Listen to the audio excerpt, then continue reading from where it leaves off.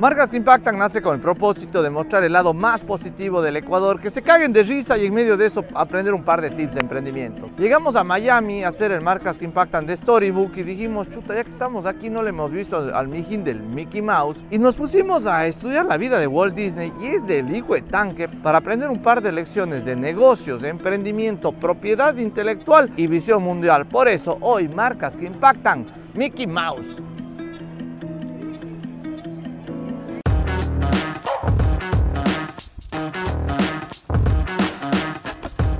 Hay que pagar el parqueadero, vamos a ver. Hello, Good morning. may I pay with credit card? You can. You have reservation for the day? Yes. Okay, would you like a standard or preferred? Uh, what's the difference? The preferred park all the way up front by the main gate on the handicap area. Oh, That's the 25. standard is okay. The standard is 25. Sort your card, please. Yes. Uh, and this receipt is good in and out all day, all parts. Okay? Perfect, thank you very much. Esta tarjeta Payphone estoy dando bala aquí Estados Unidos. A ver, vinimos a Disney con la Pao. Ella es ahora, en vez de Esteban B Films, está Paola M Films. Vuelve Estevitan. Pero bueno, ahí uno ve lo complicado que es este tema de videógrafo. Y este Vita está grabando una película con la gente. Alejandro Lalama, Diego Yoa, o sea, una bomba. Pero lo que queremos decir en este canal, en este video, no les vamos a enseñar el tema de cuánto cuesta Disney, las mejores atracciones. O sea, cosas que ya hay gente, Luisito Comunica, creo que lo ha hecho Wallan por el mundo, lo ha hecho mucho mejor que nosotros. Miles de personas tienen videos de Lo que vamos a aprender hoy es negocios eh, al estilo de Walt Disney. Walter Elias Disney, el creador de Mickey, bueno, ahí está con Minnie Mouse, nace en 1901, muere en 1966. ¿No vio esta maravilla? Al final ven el castillo. Este no es de Minnie. ¿De qué es el castillo este? Si ven, estaba grabando y apareció esto. El héroe de Churchill, Trivili, no sé, Tribilín o Pluto. Siempre es importante entender la importancia, valga la redundancia, de la niñez en la gente. De los 0 a los 7 años y antes las emociones que tiene la mamá en el embarazo marcan la personalidad de alguien. En este caso, Walt Disney de chiquito decían que le encantaba estar pintando. Cuando le vean ahí a su hijo pintando una movida en el restaurante, no le jalen las orejas. No veanle más bien de la perspectiva de creatividad. Le encantaba jugar con su hermana y además fue repartidor de periódico a los 15 años. Tenía que levantarse a la medianoche para trabajar duro y que a todos les llegue su periódico. Si ven estas tres cosas, muestran mucho de la personalidad posterior de jugar con niños, jugar con su hermana, que la gente se divierta, el trabajo duro y pintar. Y si quieres seguir aprendiendo de los mejores para mejorar tu empresa y mejorar el Ecuador, el 20 de mayo tenemos una cita en Marcas que Impactan Live Show. Será un evento en donde puedes asistir de manera online y adicionalmente tenemos cupos físicos. Será en el Teatro Pumapungo en Cuenca, en donde podemos aprender de primera mano muchas lecciones empresariales de los cracks más grandes que ha dado este país. Las entradas salen a la venta el 24 de abril por Meet2Go, preventa para clientes Payphone y el 28 de abril salen las entradas para el público en general.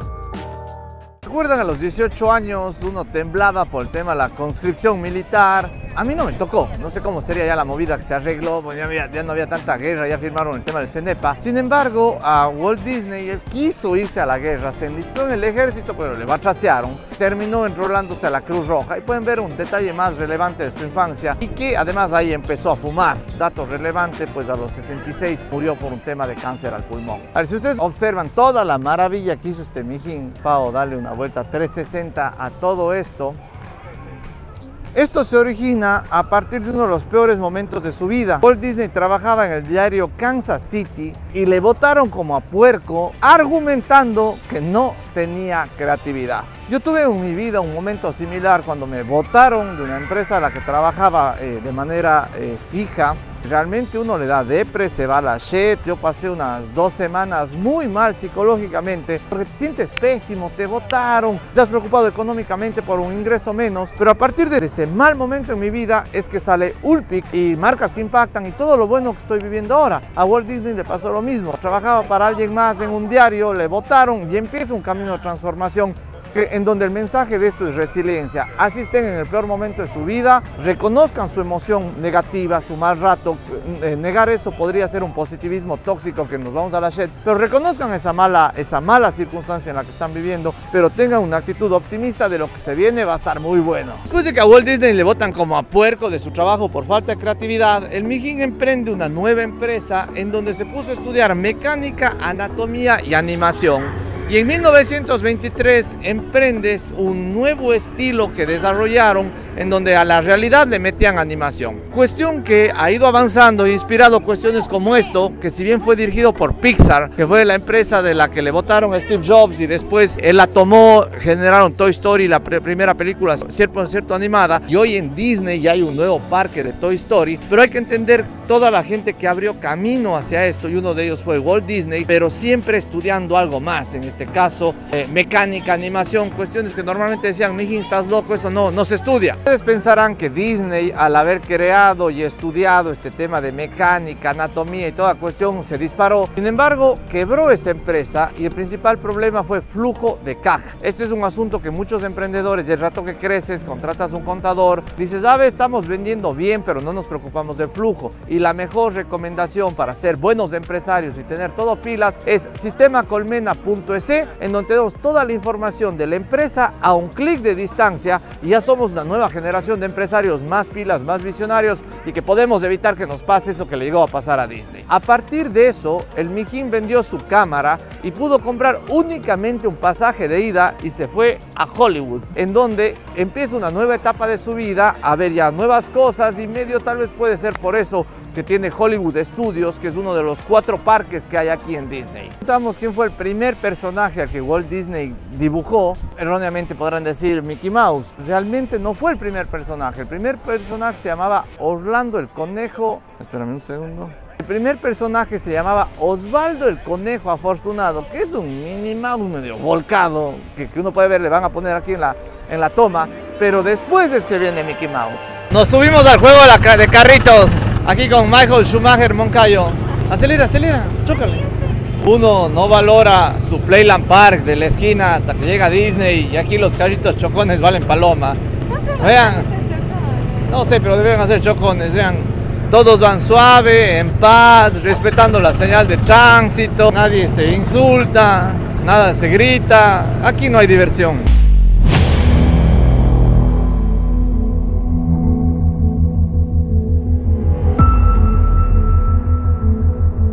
La Pau se metió en una pelea personal con ese niño. ¡Go, go, go, go! Puta, Schumacher contra Hamilton. ¡Dale, dale! ¡Vamos, Manny, vamos, vamos! ¡Te va a ganar el niño, te va a ganar, no! Ahí viene la cara del mijín, feliz de que nos fue pasando. Ese sí parece el ecuatoriano, te va pasando y te va sacando en cara. Me puse yo a acelerar esta pavada, que la Pau no aceleraba bien. ¿Te vas a pasar? ¡Fue winning, pinche niño! ¡Ya le pasamos, ya le pasamos! Adiós, loser. A ver, después del enfrentamiento a muerte de la PAO con un niño estadounidense de 4 años, si ustedes ven esta movida, o sea, chévere, pero no le piden ningún favor al casting de Gualaceo.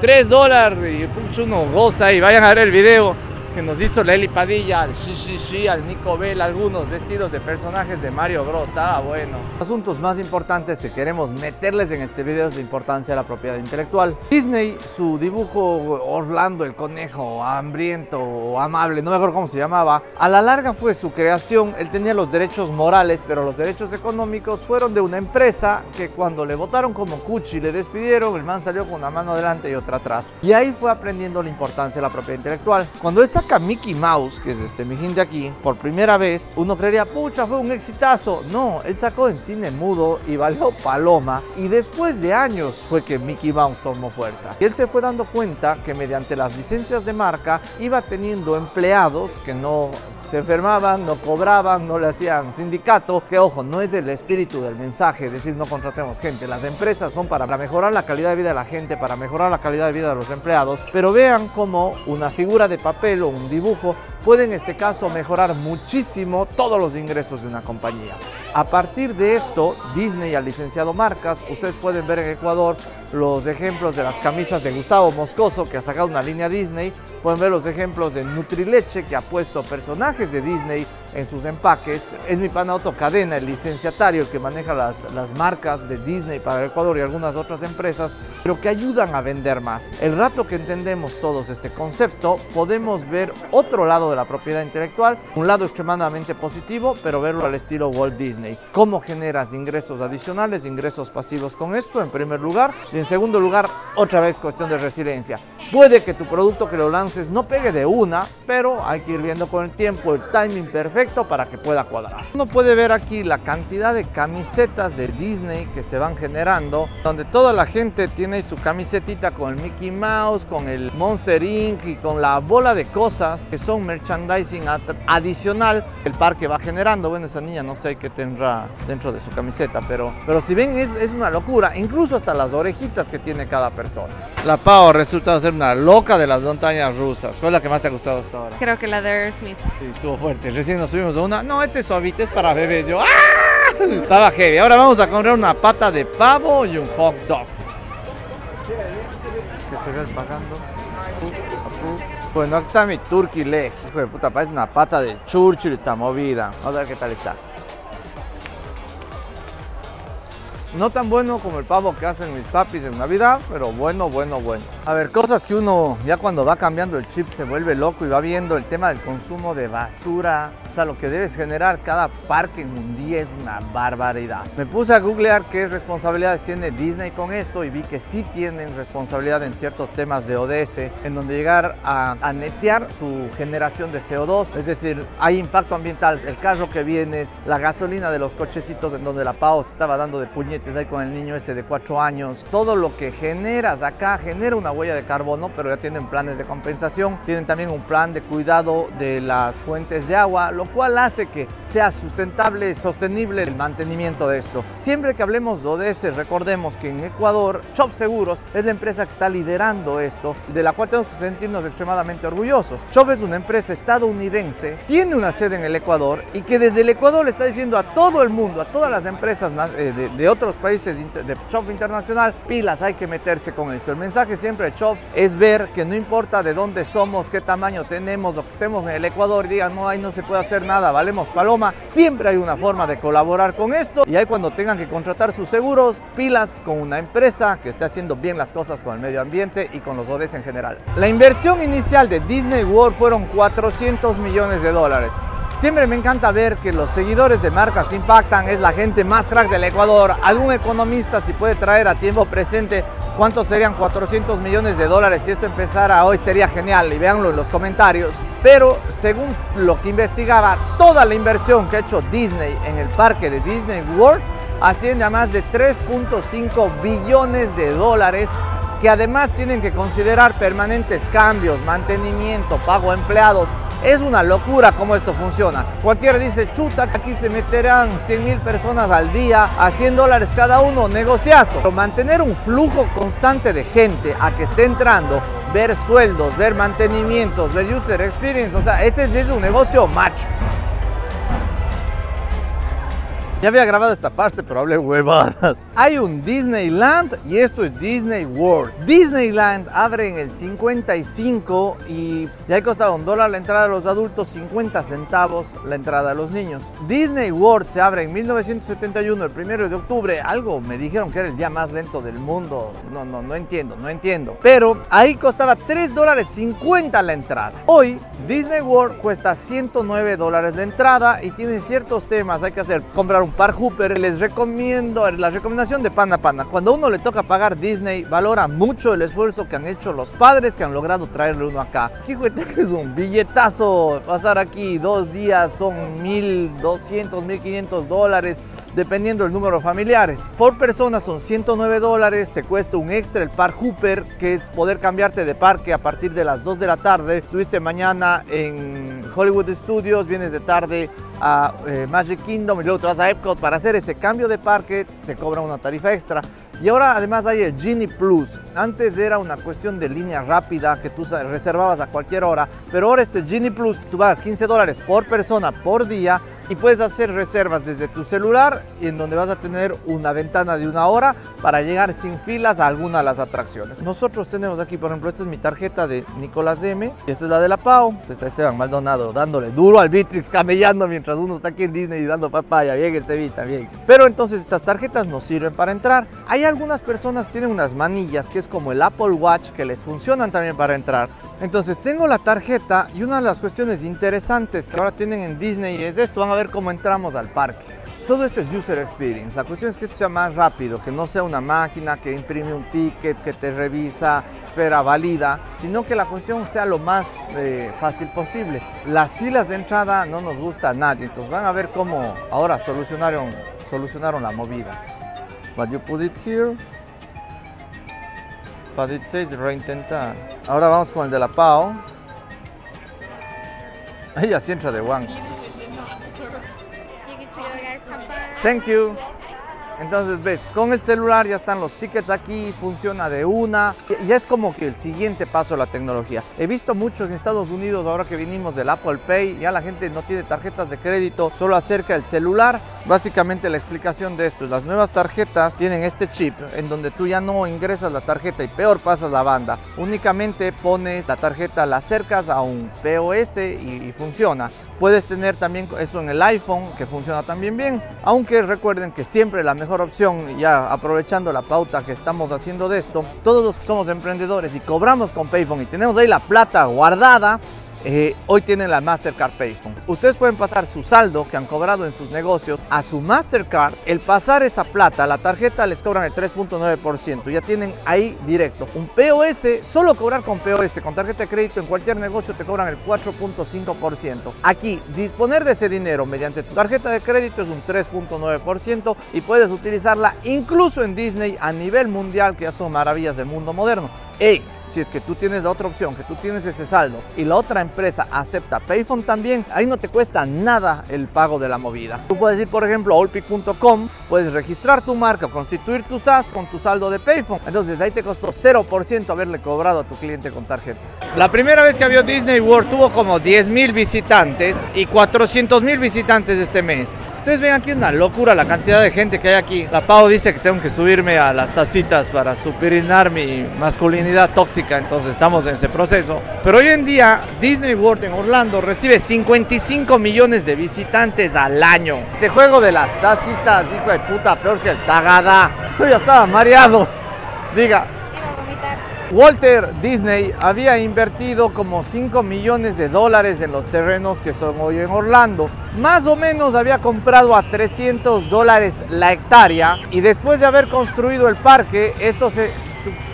Hay un niño que está metiéndole guerra a la pobre mamá. Fuerza señora. Y después de haber construido el parque, más o menos cada hectárea costaba 150 mil dólares. Creo que aquí una de las cuestiones que yo estoy pilas ahorita viendo, por ejemplo en Cuenca, es la inversión inmobiliaria en terrenos en donde aún no llegan los servicios básicos, pero uno tiene que estar pilas hacia dónde van las ciudades. Mi tía nena me había recomendado el libro Trump, los mejores secretos o consejos inmobiliarios que he recibido. Aquí les vamos a poner el libro que ahí uno lo que va viendo es compra terrenos en los exteriores, anda viendo cómo se van poblando, si es que los proyectos van acorde a lo que tú quieres, quiénes son tus vecinos y ahí tienes que ser muy estratégico en los momentos de vender. Entonces creo que eso es algo interesante. Ven como un gran proyecto se está desarrollando en algún lado pilas, no, no como el esposo de la Cintia, acá sale con pavadas Guayaquil, pero bueno, ya cada uno, cada uno a su tamal.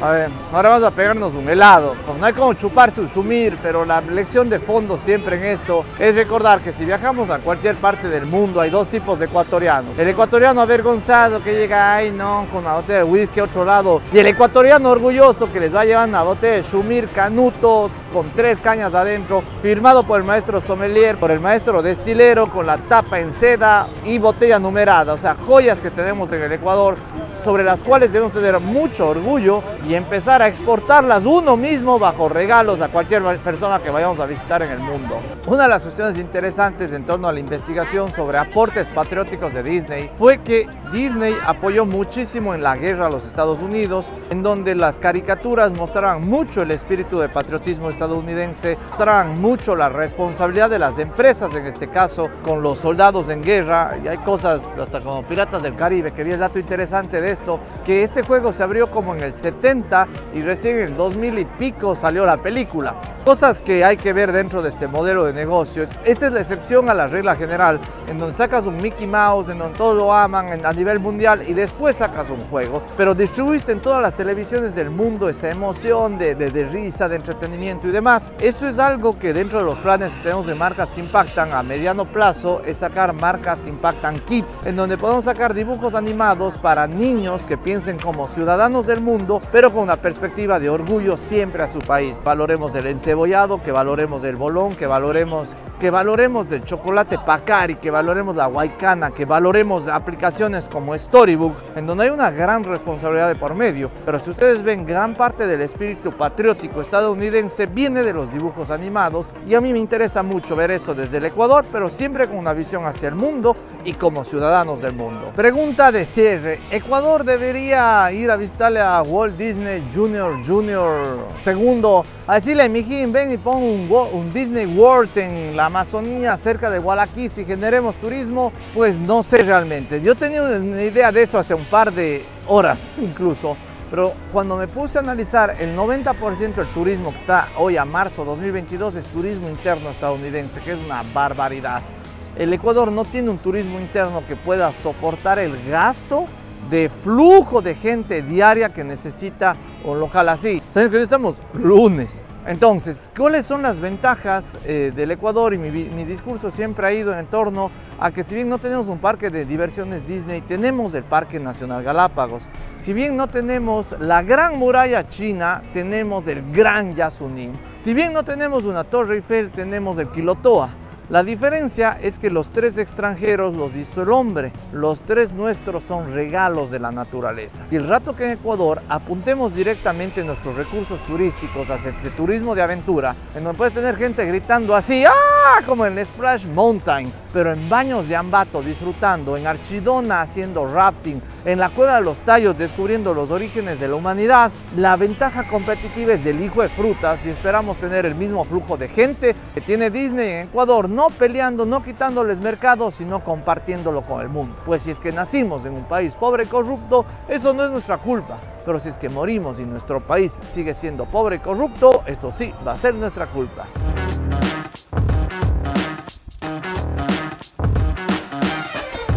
Si no, más bien véanle desde la perspectiva. Aquí sí les vale verga. Te está sacando en cara. ¿Qué tienes que decirle? Caremazo. Caremazo.